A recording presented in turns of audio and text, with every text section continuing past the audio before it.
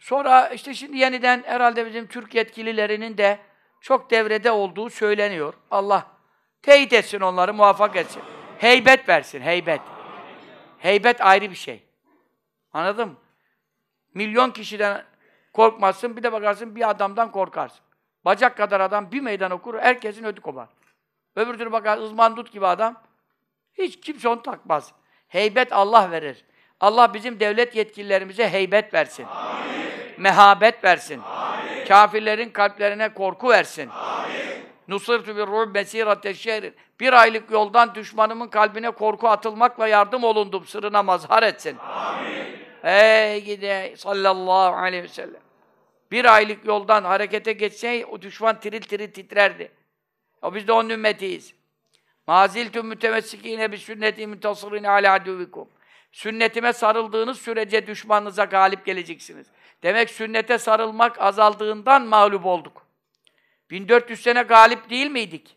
Hakim değil miydik? Son 150 senenin faturası bunlar. 1300 sene, 1300 sene dünyada gavur kıpırdanabildi mi? Ama şimdi ne oldu bu rezillik başımıza bu belalar geliyor? Çünkü ehli sünnetten ayrıldık. İtikadımızı korumadık. Çoluk çocuğumuzu haşlamadık. Ehli sünnet olmasan da olur dedik. Şia da iyi geçinelim dedik. Dinler arası diyalog dedik, dedi, biz demedik de dediler. Ondan sonra çokları da bu hoşgörü adı altında bunlara ne yaptı?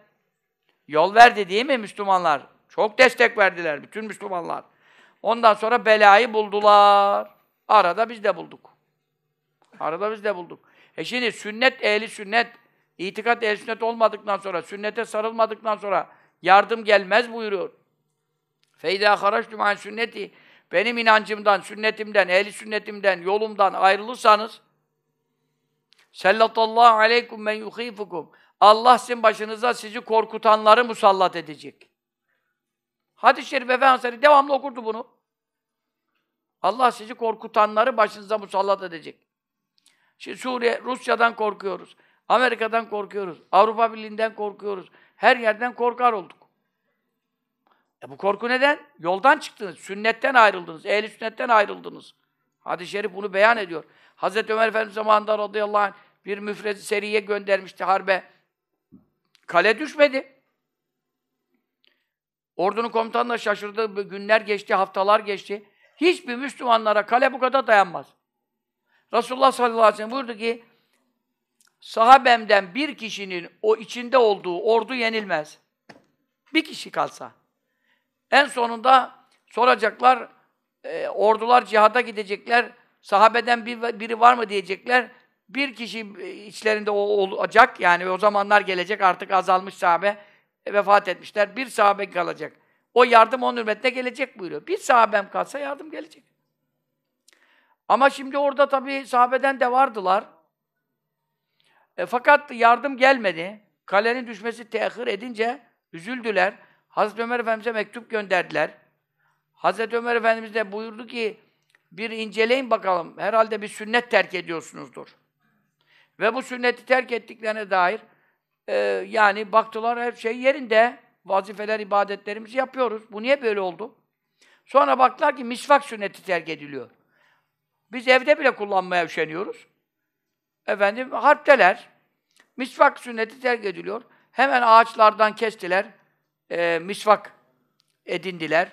Ondan sonra tabii kafirlerin gözcüleri kulelerden bakıyorlar. Bunlar misvak tabii e, abdestte de yapılıyor, namaz öncesinde de yapılıyor, dua öncesinde de sünnettir. Dişleri kanamasından ihtimali olan abdest öncesi yapmasın. Şafiilerde kanamak bozmadığında onlar rahat yapıyorlar. E, Hanefi'de yani dişin kanamaz bilenler yapsınlar. Namazdan önce de sünnettir. Uykudan uyanınca da sünnettir. Dua yapmadan önce de sünnettir. Misvak. Bu misvak sünneti terk edildiğini anladılar. Hemen misvak edindiler. Ondan sonra misvak kullanmaya başlayınca gözcüler içeri haber verdiler. Ya bu Müslümanlar çok acıkmışlar, bizi mi yiyecekler falan. Bir evham mı geldi, korku mu geldi, ne geldi? Laf dolandı yani neyse. Allah Teala kalplere korku attı ve kale düştü. Bu çok muteber siyer kitaplarında zikrediliyor. En Efendi Hazretlerimizden kaç kere dinledik zaten. Kaynak sormaya ne hacet var? Hal böyle olunca benim sünnetimden çıkarsanız Allah sizi korkutanları başınıza geçirecek. فَلَا يُنْزَعُ الْخَوْفِ مِنْ قُلُوبِكُمْ Sizin kalplerinizden korku söküp alınmayacak.